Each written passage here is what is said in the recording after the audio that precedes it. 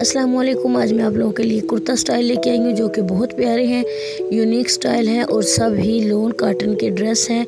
आप अपने बच्चों के सूट बनाएँ इंजॉय करें, ईद पे पहनाएँ। अल्लाह हाफिज़।